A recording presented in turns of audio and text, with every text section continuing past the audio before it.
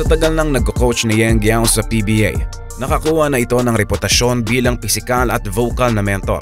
Sa kanyang tough love, strict treatment sa mga players, ay marami na rin itong napayuhan ng mga manlalaro na nag-improve sa ilalim ng kanyang basketball style at nag-uwi ng championship.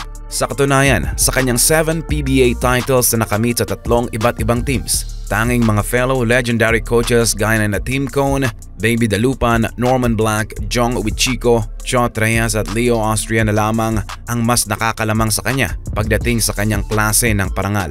Pero sa likod ng mga championships at individual accolades ni Coach Cheng, napakaraming kontrobersiya rin ang lumipat sa kanya over the years.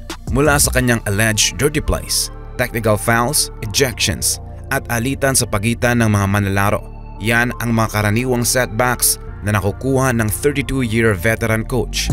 Isa na lamang dyan ang beef na nabuo sa kanila ng San Miguel Beerman guard na si Chris Ross. Bilang dalawa sa mga malakas maglaro ng mind games sa liga, hindi lang isang beses nagbangga ang veteran coach at player na ito. Sa katunayan, hindi lang verbal spot ang nangyari, kundi may tulakan din na naganap sa kanilang on and off beef. Ano nga bang dahilan at sanhi ng pagkakainitan ng dalawa? Ang unang alitan na naganap sa pagitan ng mentor at ward ay nangyari noong 2015-16 Philippine Cup Rain or shine coach pa si Coach Cheng noon at umabot sila sa semifinals ng conference nila, ang Beermen. Lamang ang Ross 72-54 sa third quarter nang pumwesto sa baseline malapit sa Elasto Painters bench ang 6'1 na si Ross para mag-inbound ng bola. Out of nowhere ay biglang lumapit itong si Coach Cheng at binangga si Ross sa kanang bahagi ng katawan. Sumunod nito ay pinalo naman ng Pampanga native ang kamay ng Phil Am habang umaangal agad nagtayuan ang painter's bench na hindi naglalayo sa pwesto kung saan nangyari ang banggaan na para protektahan ang kanilang mentor. Tinulak ng sentrong si Bo Belga si Ross na hindi naman nagpatinag at gumanti rin. Ilang sandali lamang ay naawat din naman ang scaffold at habang naghihintay sa hatol ng mga referees ay sumenya si Coach Cheng ng pabebe wave upang palamigin palalo ang sitwasyon. Natawagan ng technical foul ang tatlo at nagpatuloy muli sa laro. Natula naman ng 20,000 pesos fine sa Coach Cheng dahil sa pagbanggang ginawa.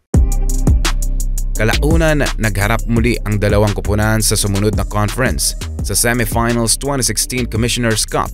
Full of 30-60 degrees ang nangyari sa dalawa dahil bukod sa walang sagutan na naganap sa pagitan ni Coach Yeng at Ross, nagbatian pa ang dalawa matapos ang serye.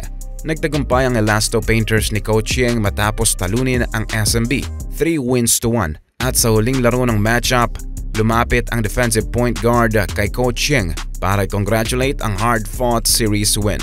Na-appreciate naman ng seasoned coach ang pagbati at sinabi pa na magkakaibigan sila sa labas ng kompetisyon. Pero makalipas ang dalawang taon, tila nag-iba muli ang ihip ng hangin. Sa pagkakataong ito, nasa NLEX Road Warriors na si Coach Yeng habang si Ross ay nanatili sa Beermen sa isang elimination round game sa pagitan ng dalawang competitive team.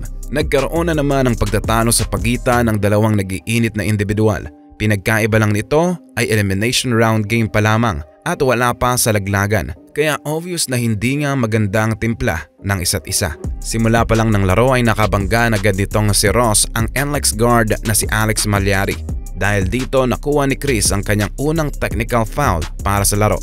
Pagdating sa fourth quarter, si Michael Miranda naman ang nakursunada ni Ross na guluhin ang laro. Bilang retaliation, sinipa ni Miranda ang defensive guard sa kanyang maselang bahagi ng katawan. Pero ang main event ay nangyari noong 146 minute mark sa huling quarter. Matapos pag-inita ng dalawang kalaban na players, hindi pa yon naging sapat para huminto si Chris Ross sa kanyang mind games at si Coach Yeng naman ang nilapitan. Ito na ang round 2 ng kanilang beef. Nagkapalitan ng maanghang na salitang dalawa na siya namang dailana para magkaroon ng emotional meltdown itong si Ross. Pagkatapos ay nakatanggap siya ng pangalawang technical foul kaya kinailangan niyang lumabas ng court. Nanalo ang Beermen sa score na 109-98 pero hindi pa dito nagtatapos ang serye ng dalawa. Sa post-game interview, sinabi ni SMB coach na si Leo Austria na nakarinig daw si Ross ng isang salitang hinding-hindi niya gustong marinig sa bibig ng ibang tao. Sinabi raw sa kanya ng 2009 third overall draftee na sinabihan siya ng N-word kaya hindi niya nakontrol ang emosyon. Sa perspective naman ni Coach Yeng, Klinaro niya na hindi niya sinabi ang salitang sinasabi ni Chris bagamat umamin ang 7-time champion coach na pinakitaan niya ng dirty finger si Chris. Sinabi niya na pure trash talking lang ang nangyari dahil daldal ng daldal na rin daw ang 2-time defensive player of the year. Sinabi rin niya na parte lang daw ng psychological warfare ang nangyari dahil gaya nga ng nabanggit natin kanina, parehas malakas mang asar ang dalawang ito sa laro. Napatungan ng 11,000 pesos fine si coach para sa profane languages na binitawan at 2,600 pesos naman para kay Ross dahil sa ejection na natamo sa dalawang technical fouls.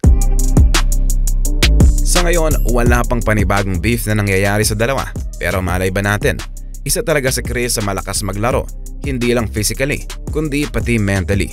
Kaya madalas may napipikon dito sa mga laro. Para naman kay Coach Yang, wala pa rin namang nagbabago sa kanyang coaching style.